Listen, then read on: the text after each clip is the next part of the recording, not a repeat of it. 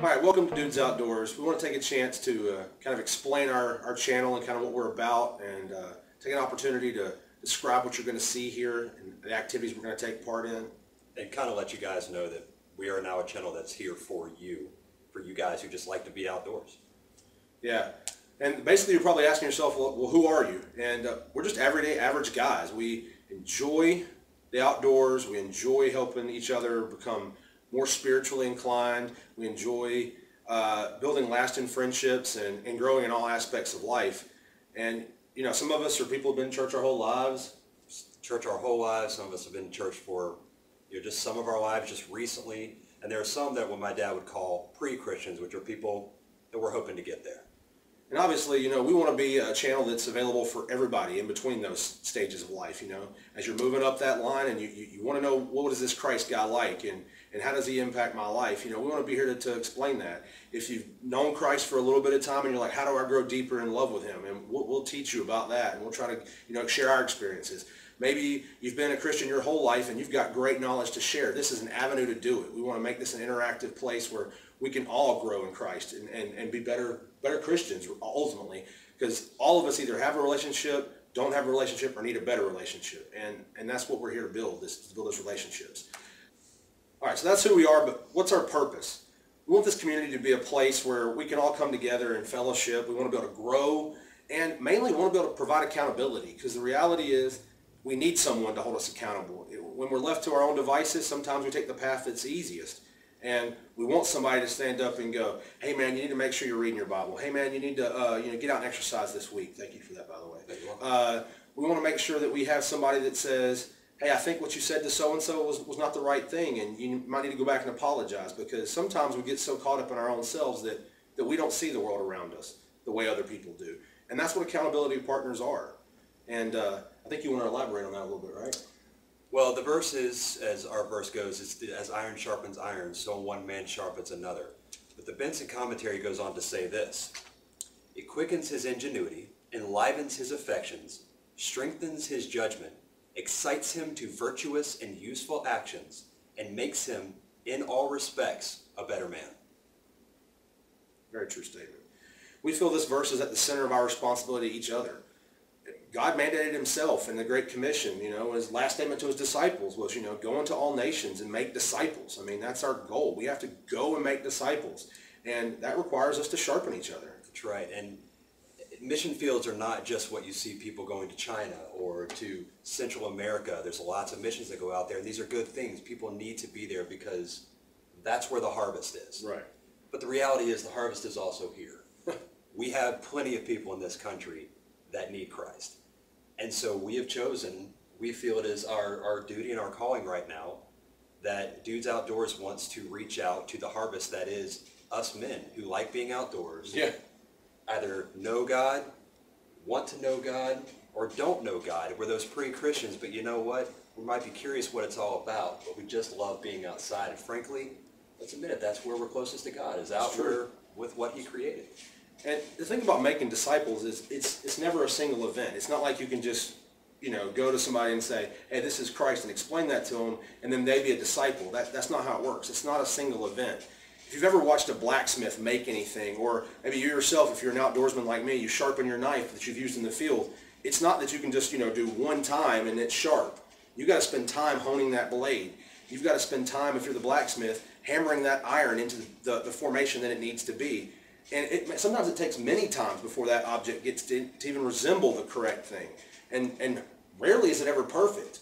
And then you go out into the field and you use that object, and what happens to it? It gets dull. And, and that's what the world does to us sometimes. It, it dulls us. And we need a place where we can go back and be sharpened. We need people where we can be sharpened, that are willing to look at us and say, hey man, you're getting a little dull in this respect. Let's get back on track. That's right. It's all about accountability. And that's our goal. We want to be a place where men can sharpen other men where we can help sharpen you and help really benefit your relationships you have outside of what we do here. Because we're here for you. We're here for each other. We're here to experience life outdoors. Absolutely. And frankly, we'll have a few laughs along the way. Yeah. All right, so the next question is, you know, well, what is this going to look like then? And one of the things we want to do is we want to create videos uh, to share ideas about outdoor activities. You'll notice there's some already up that, that we want to encourage you to take a look at. Uh, whenever we see a, a great deal or something, we're going to try to tell you about that great deal because we want to give you an opportunity to, if you like the outdoor activities, participate in those with good, good deals at great prices. If we come across a, an item that we find that's very helpful, you know, on a fishing trip or on a hunting trip, we want to promote that item so you can know what's out there. But at the same time, you know, we want to put devotionals out there on our website that you can listen to that'll help impact you for Christ, not just outdoor activities. We want to provide online teachings to hopefully shed some light on what the Word says, because ultimately we need to all be in the Word, and, and those videos will help do that. Yeah, and we're, we're here to also try to encourage you to get outside and get healthy. And we're going to encourage you to participate in outdoor activities to, to reach that goal.